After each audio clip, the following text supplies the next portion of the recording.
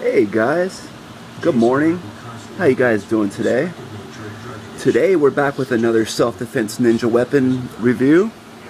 And today, as you can see, we're going to be reviewing some shurikens, which are also known in the West as ninja stars or throwing stars.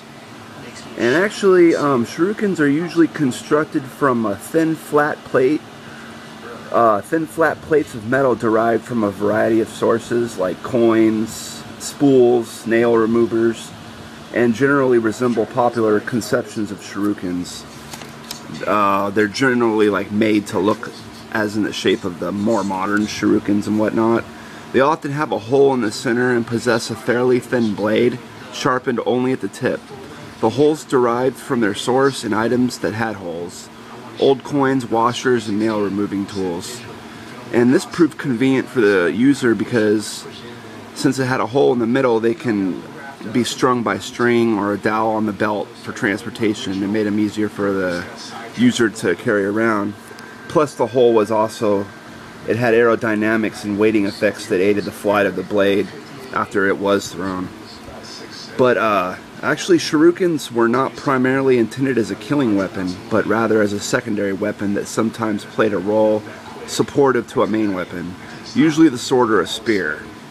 Shurikens were primarily used to cause either nuisance or distraction.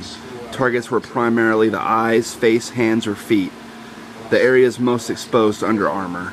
The shuriken would sometimes be thrown in a way that cuts the opponent and becomes lost, later causing the opponent to believe that they were cut with an invisible or by an invisible swordsman.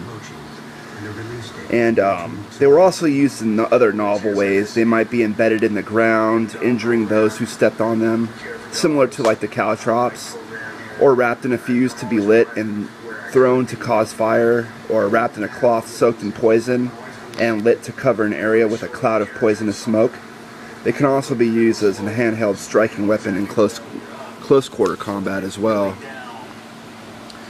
And there's also reports of shuriken being coated with poison, intended either for throwing targets, throwing at targets, or whoever may pick them up when left in a uh, conspicuous place. And then the person or victim would have to be treated with uh, at the poison, they would have a bacteria that was the result of the poison, and then it would cause a really bad infection. They'd have to be treated in order for that to be fixed. I put these in a little cigar box here to display them. Makes them easier to show. Here's, here's what one looks like up close. These actually don't have a hole in them.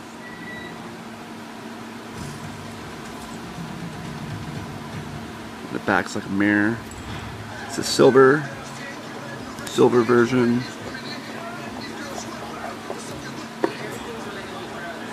Got a black version. And of course the golds.